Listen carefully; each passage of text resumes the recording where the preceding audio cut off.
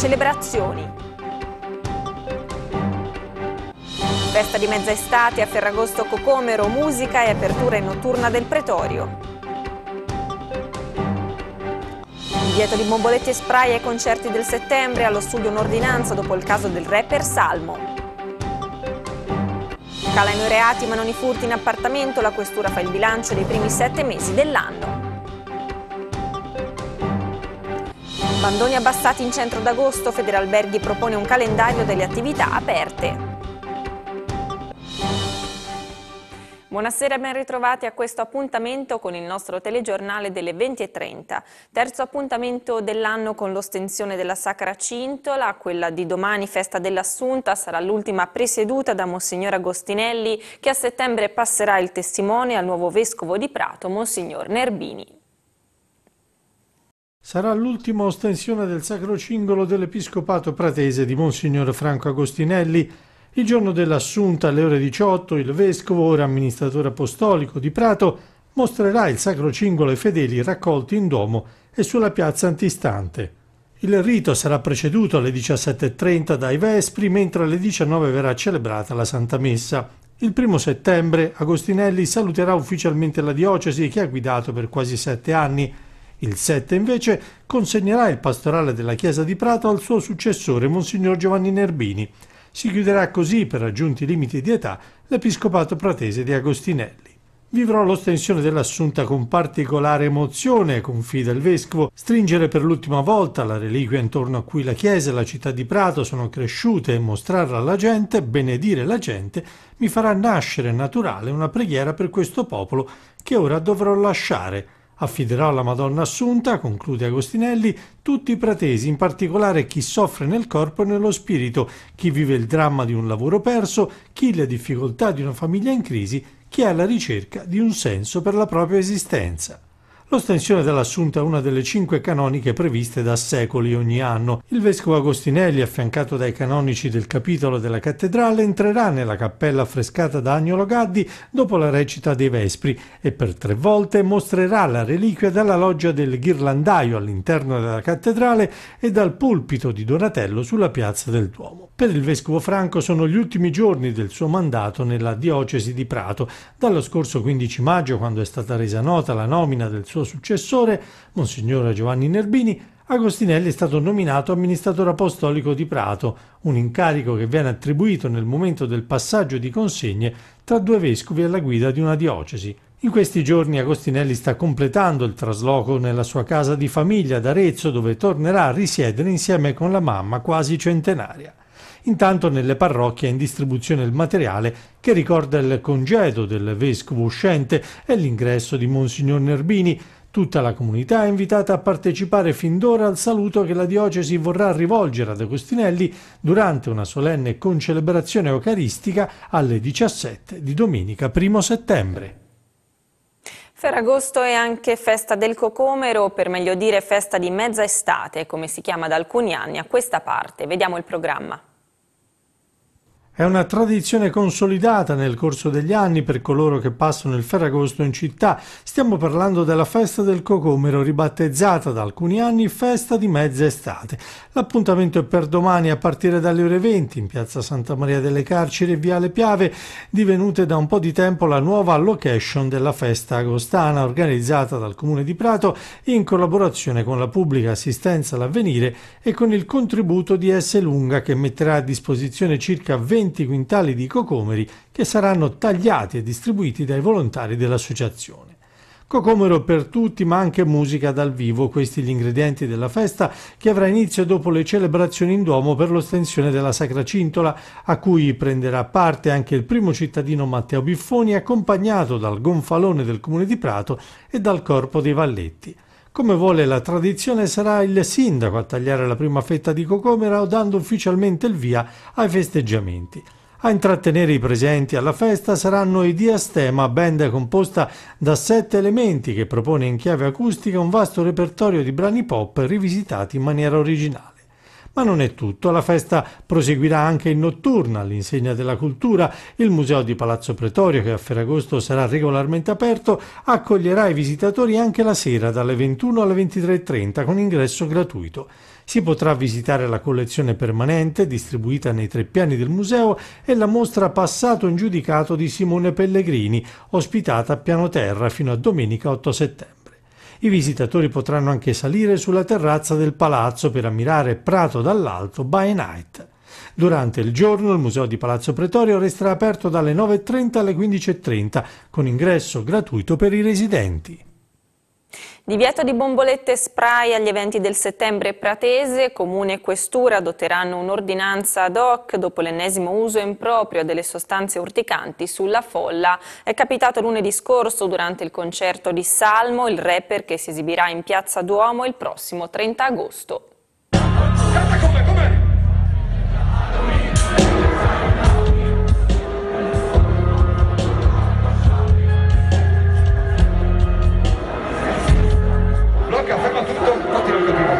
Luce, la luce, che succede? Lo spray? Lo spray? Ok. Guarda che tanto ti becchiamo fra, eh. Guarda che non vai da nessuna parte. È successo di nuovo e per evitare che accada anche a Prato sarà vietato introdurre bombolette e spray ai concerti del settembre pratese. Come si vede da queste immagini pubblicate su YouTube da uno spettatore, il rapper Salmo lunedì scorso ha interrotto per due volte il concerto di Lignano Sabbiadoro, a cui assistevano 5.000 persone, dopo che qualcuno ha sparso lo spray al peperoncino sulla folla. Ci siete? Vogliamo continuare? Ce l'abbiamo ancora un po' d'acqua, ragazzi. Finché non vedo che state bene non continuiamo. Fatemi vedere. Alza, tenete giù le mani, tenete giù le mani. Se c'è qualcuno che ha bisogno di aiuto, alzi la mano. L'artista è riuscito a tranquillizzare gli spettatori agevolando i soccorsi. Diversi giovani si sono recati al pronto soccorso per bruciori e irritazioni, ma per fortuna la situazione non è degenerata, come accadde lo scorso dicembre a Corinaldo in una discoteca al chiuso, dove prima del concerto di Sfera e Basta morirono calpestate dalla folla sei persone con 197 feriti. Salmo sarà presente in Piazza Duomo a Prato il 30 agosto con il suo playlist Summer Tour. Per questo e per tutti i concerti in programma, il sindaco Matteo Biffoni emanerà un'ordinanza che vieterà l'ingresso alla piazza con bicchieri o bottiglie in vetro e con bombolette spray. Un divieto, quest'ultimo, ritenuto una misura fondamentale per evitare l'utilizzo delle sostanze urticanti come strumento destabilizzante durante i concerti con cui seminare il panico e approfittare della situazione per commettere furti o rapine. A questo punto eh, riflettiamo anche su come eh, strutturare appunto un'ordinanza che vieti eh, l'ingresso ovviamente e l'utilizzo, ma anche l'ingresso eh, all'interno del, dello spazio concerti di questo tipo di, di, bombolette, chiaramente dobbiamo stare attenti, c'è quelli per l'asma, c'è quelli spray deodoranti veri eccetera e poi ci sono questi, questi pazzi, vedremo come strutturarla ma l'intenzione è quantomeno di mettere nero su bianco un'ordinanza che ne preveda la proibizione. Calano i reati ma non i furti in appartamento e le chiamate al 113, in diminuzione anche le pattuglie messe in campo dalla questura. Calano i reati dall'inizio dell'anno, ma non i furti in appartamento, in particolare nel mese di luglio, quando si registra un lieve aumento del fenomeno. Sono i dati resi noti dalla Questura in occasione della visita del sindaco Matteo Biffoni, che alla vigilia di Ferragosto, assieme all'assessore alla Polizia Municipale Flora Leoni, ha voluto incontrare il personale in servizio per garantire la sicurezza dei pretesi, anche quelli in vacanza. Proprio il dato sui furti in appartamento, tuttavia, non lascia tranquilli, se è vero che lo scorso mese ne sono stati denunciati 90, in pratica 3 al giorno, e 5 in più rispetto agli 85 del luglio 2018. Incoraggianti i dati complessivi, secondo il trend costante di diminuzione dei reati negli ultimi anni. Da gennaio a luglio 2019 sono stati denunciati 6.200 delitti, con un meno 7,7% rispetto allo stesso periodo del 2018. In calo gli arresti, 105 a fronte di 143 e le denunce, 130 in meno. La diminuzione della delittuosità si riflette anche in 1000 chiamate in meno giunte al 113, meno 3,1%, Rispetto allo scorso anno è diminuito anche il numero delle pattuglie impiegate per il controllo sul territorio, 3.225 rispetto a 3.615, per effetto di una minore presenza di agenti di rinforzo provenienti da Firenze o da Bologna. In parte abbiamo pagato anche lo scotto di aver dire, sostituito buona parte del personale preposto all'ufficio prevenzione generale con l'avvicendamento di nuovi agenti eh, che sono entrati in servizio gradualmente e quindi eh, adesso adesso eh, sono impiegati a pieno titolo e sono state dispiegate tutte le forze possibili sul territorio.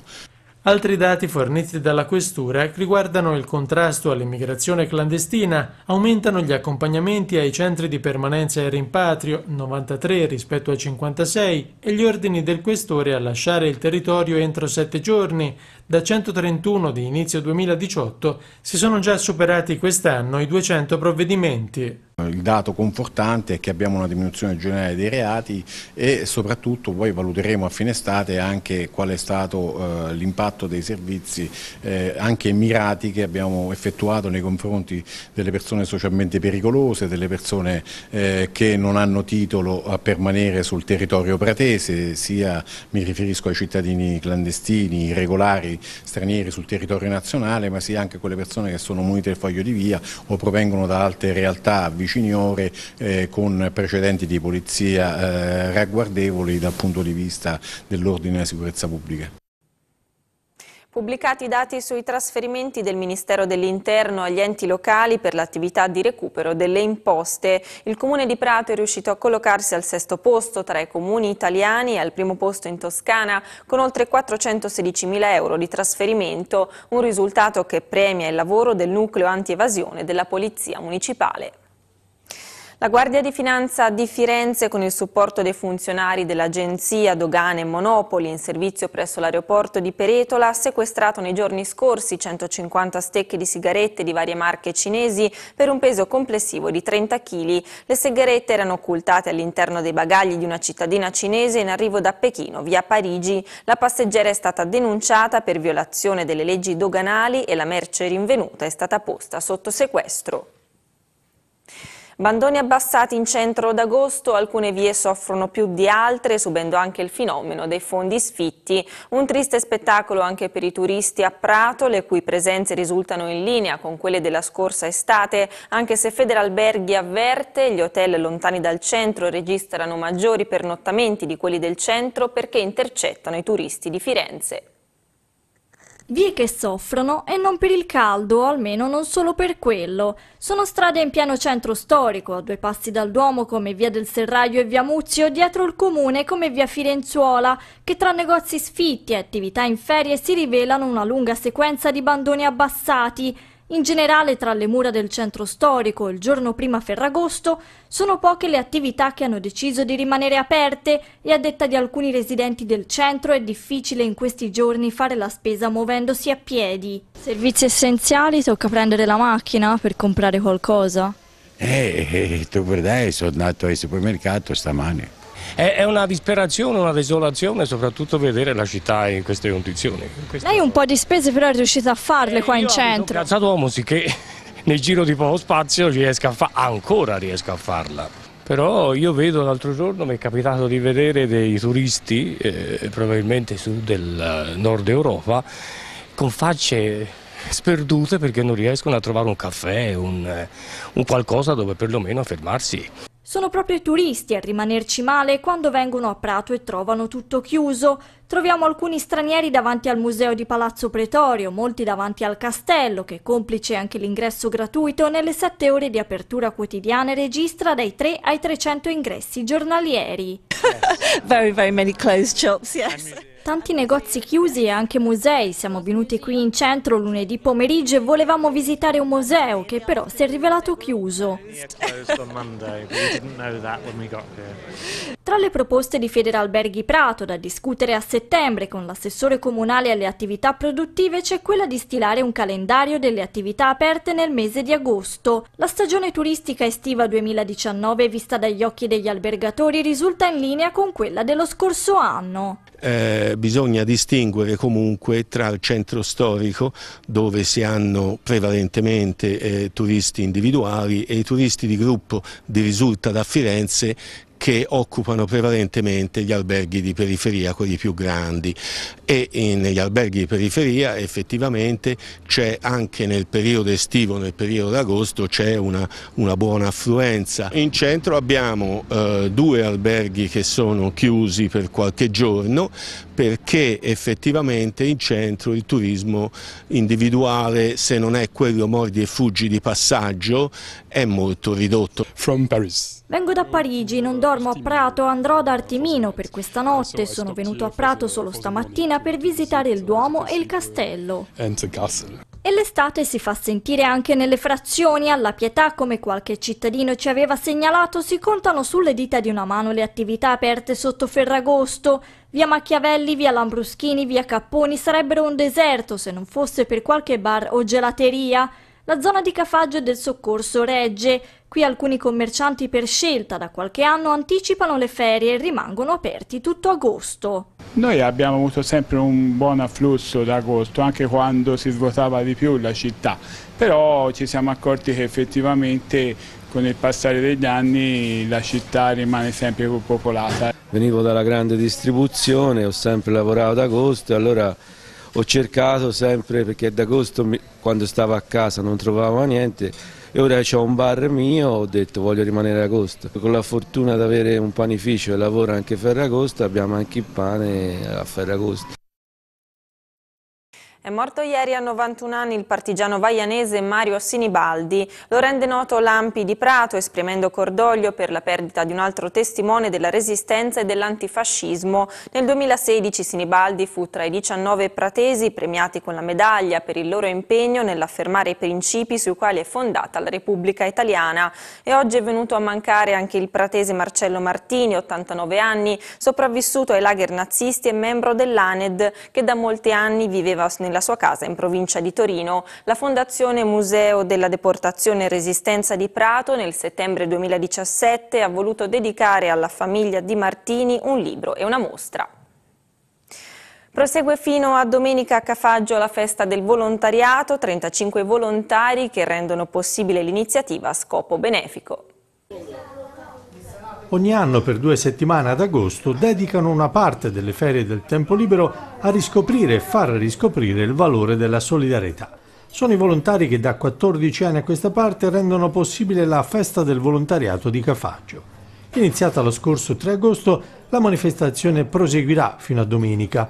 Tutte le sere, a partire dalle ore 19.30, nel giardino della Casa del Popolo di Via del Ferro, è possibile cenare, aiutando al contempo le persone più bisognose. Come sempre infatti il ricavato della festa verrà devoluto alle associazioni del territorio della Piana che si impegnano quotidianamente per il sostegno e la solidarietà nei confronti dei meno fortunati e di quanti si trovano nel bisogno. Siamo alla quattordicesima edizione della festa del volontariato che si svolge presso la Casa del Popolo di Cafaggio in Via del Ferro. A, a, oggi, da quando abbiamo iniziato il 3 di agosto, abbiamo avuto una presenza costante che ha variato da, dalle 80 alle 130 persone, quindi siamo abbastanza contenti. L'anno scorso lo abbiamo dato a 12 associazioni ehm, per un totale di 12.000 euro.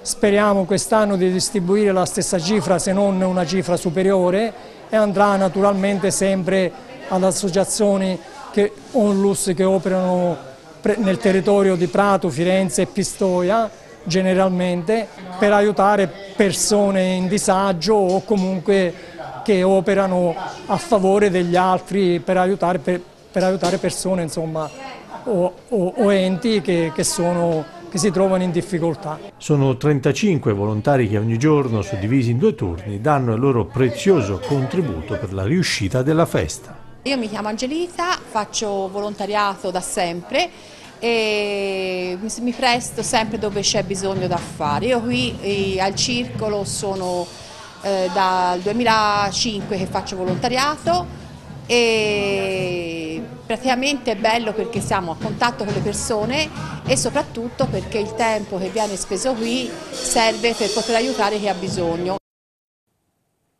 Carmignano ha una nuova centenaria. Ieri circondata da familiari e amici ha spento 100 candeline Lubiana Spinelli. Presenti anche il sindaco Edoardo Prestanti e il vice sindaco Federico Migaldi, che per l'occasione hanno consegnato alla festeggiata una targa con gli auguri e le felicitazioni dell'amministrazione comunale di tutta Carmignano. In occasione del compleanno di Lubiana, familiari, amici e parenti hanno deciso di fare una donazione all'ospedale pediatrico Meyer.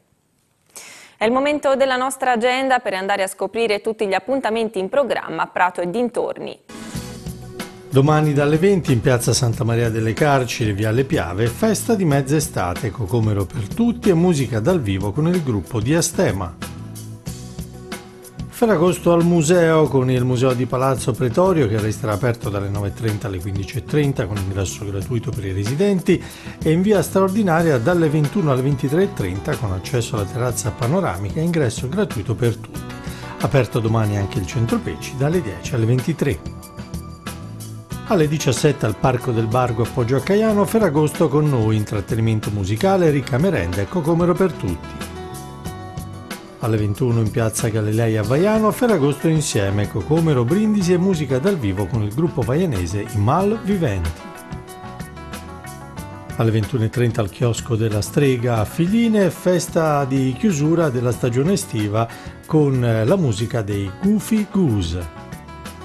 Sempre alle 21.30 al Castello dell'Imperatore, proiezione del film Croce Delizia mentre venerdì 16 agosto al Castello dell'Imperatore alla stessa ora verrà proiettato il film Dolori Gloria.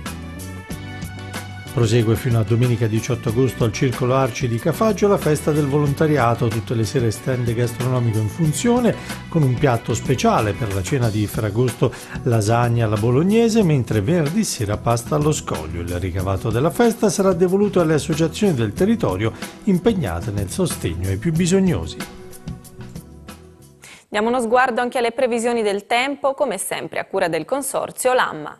Una buona serata e ben trovati. Per la giornata di Ferragosto torna a farci visita l'anticiclone delle Azzorre con tempo stabile e temperature nella media. Lo vediamo dalla grafica all'insegna del sole in mattinata con venti deboli, mare ancora mosso, temperature in leggero calo con valori gradevolmente attorno ai 14 16 gradi, nel pomeriggio non cambia molto, soltanto qualche nuvola pomeridiana sui rilievi ma senza precipitazioni, venti in regime di brezza con ancora mare mosso e temperature gradevolmente attorno ai 32-34 gradi, quindi nella media per il periodo. Per la giornata di venerdì ma poi in generale anche per il weekend non cambia molto, il tempo si manterrà stabile all'insegna del sole con temperature in leggero aumento ma sempre su valori prossimi a quelli tipici per il periodo. Bene, con questo è tutto, vi ringrazio per l'ascolto, augurandovi una buona serata.